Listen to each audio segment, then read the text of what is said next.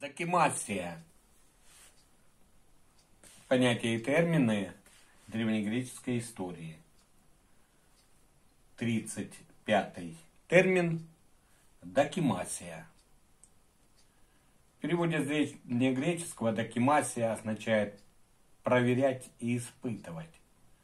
Так, в древних Афинах было два значения понятия докимасия. Первое – это проверка новых граждан древнегреческого общества, они назывались эфебы, на возможность предоставления им всей полноты гражданских прав и свобод.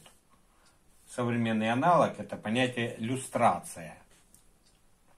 И второе значение – проверка граждан Афин, выбираемых на государственную должность, на предмет соответствия критериям, необходимым для занятия этой высокой должности.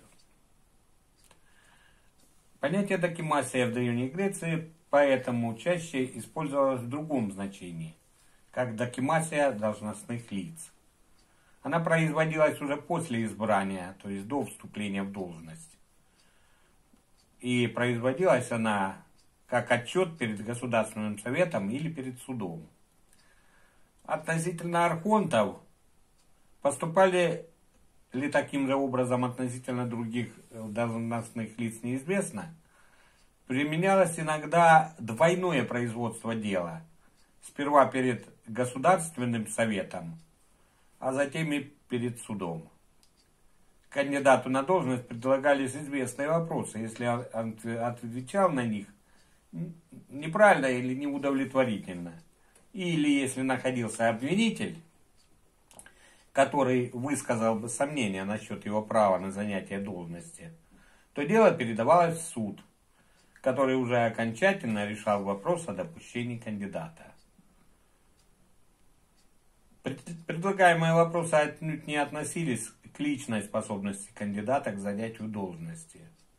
В демократическом городе эта способность предполагалась в каждом гражданине –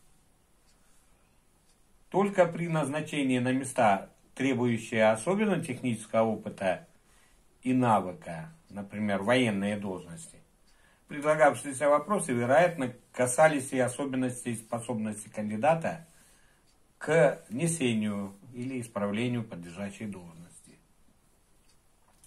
Спасибо за внимание. Следующий термин, который мы рассмотрим, это будет 36-й термин, термин «зевгите». Свидания.